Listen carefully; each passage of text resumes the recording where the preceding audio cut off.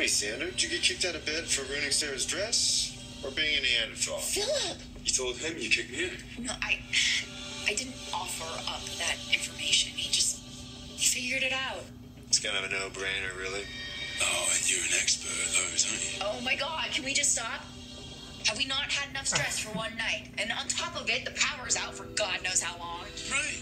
And yet, despite all the stress we're apparently under, you two can find the humor. Oh, isn't it hilarious when someone's deeply hurt by someone that they love with all their heart and share their life with? Deeply hurt? No! You threw a jealous hissy fit over nothing. Very laughable hissy fit at that. Hey, you know what happens to losers who hit on my woman? They get hit repeatedly. But not before I spill wine all over their favorite dress. I'll tell you what's laughable. Your outrageous arrogance. You fail at everything you do, Philip. Disappear from Salem with your tail between your legs, and then you come back here and expect everyone to genuflect in front of your mere presence. When the truth is, if your last name wasn't Kyriakis, you'd be nothing but a down and out deadbeat. Xander! That's cruel. It's unnecessary. It's okay, Sarah. Let him vent.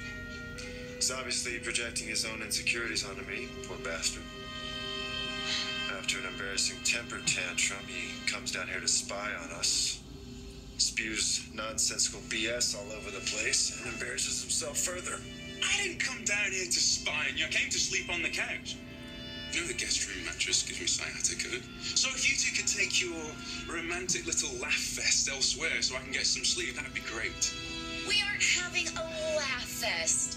I came downstairs because I didn't want to sit alone in our bedroom in the dark. And there is nothing romantic about a power outage, when it's caused by three escaped Statesville prisoners that are still on the loose.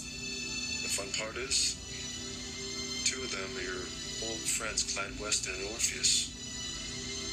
You wouldn't happen to know anything about that, would you?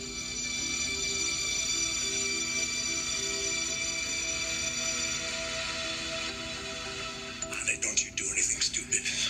Vincent's already in jail. Let the justice system do its job. The justice system says the man who said he'd just take care of him for me, who just broke out of prison tonight.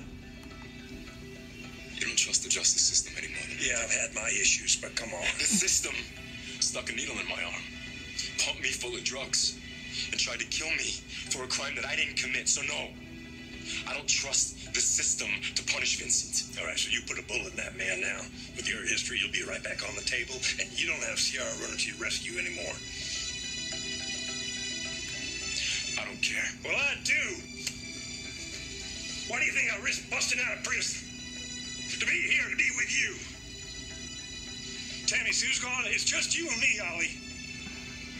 We're all a family we got left. What is there out there for me? On the outside, except you. What's left for me?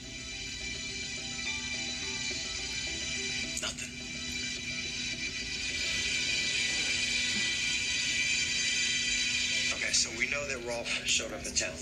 So it's obvious the men are traveling together. So therefore, that means that Clyde and Orpheus should be here too. Yeah, so we reached out to everyone who has a history with Clyde and Orpheus. We've already covered Ben and Marlena. I already sent cars out to Kate Roberts and Steve and Kayla Johnson's.